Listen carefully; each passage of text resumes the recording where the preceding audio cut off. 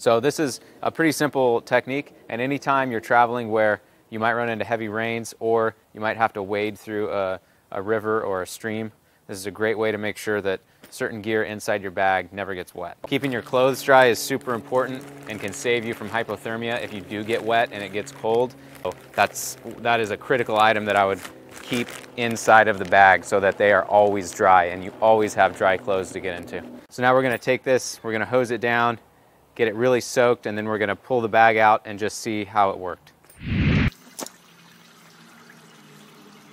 Clothes are still totally dry. If you were facing hypothermia and you needed a fresh change of clothes, this just saved your life. There's more in the description.